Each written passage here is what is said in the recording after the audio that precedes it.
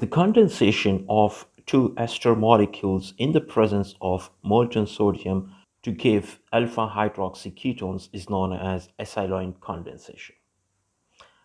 The product alpha hydroxy ketone is actually known as the acyloin and therefore the name acyloin condensation.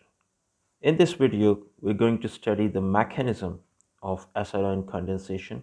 So let's begin.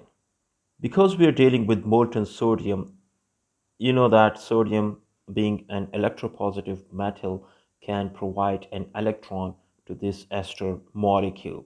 And in fact, because there are two ester molecules here condensing together, so two sodium atoms will provide one electron each to these ester molecules.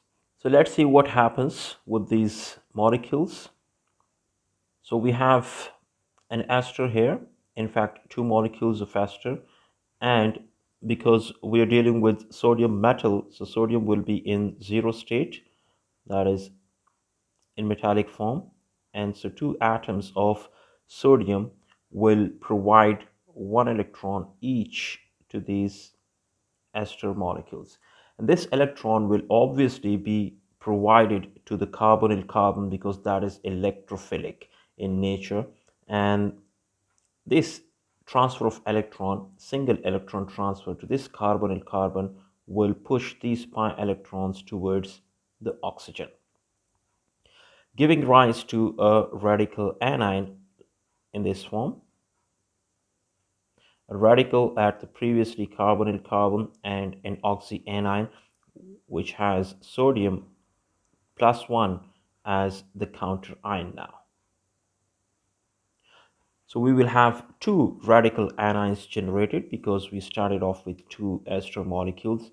And you know that these two radicals can then condense together. So let me write it separately here. I remove two from here.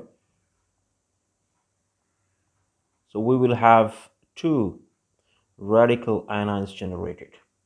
Now these two radicals can form a bond with each other and so as a result we will have a coupled product like this or a intermediate like this.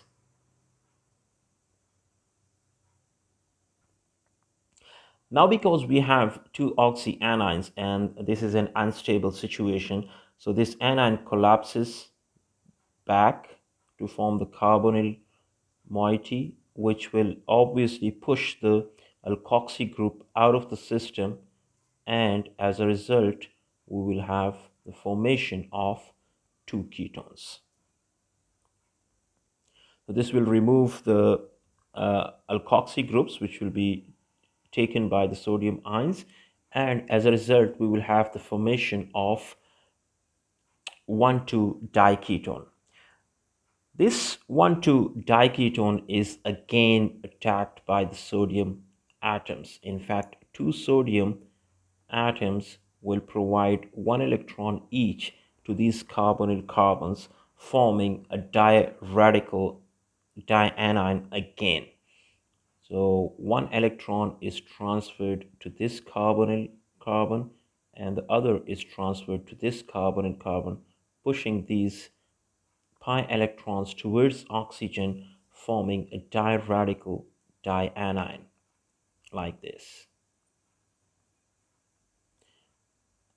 And because we have a diradical situation, these two radicals can share their electrons to form a pi bond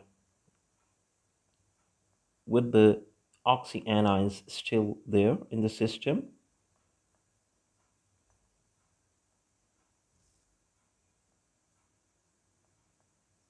Now in the final workup step, we will acidify these anions.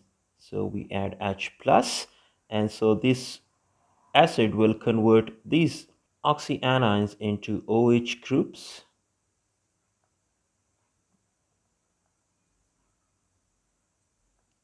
And so we have the formation of these uh, enols. Now one of these enols will tautomerize into a keto form and you know that tautomerism is always uh, written in this form and because the final product is more stable so the equilibrium is shifted more towards this acyloin. So you can see that uh, one of these ketones will, uh, sorry, one of these enols will tautomerize into a ketone and as a result we will have a hydroxyl group at the alpha position and this final product is known as the SI line. So this is all about acyloin condensation. Uh, you can see that two ester molecules condense together in the presence of sodium metal in molten form to give alpha hydroxy ketone, which in other words is known as the acyloin. Stay tuned for some more named reactions in organic chemistry. Thank you so much for now.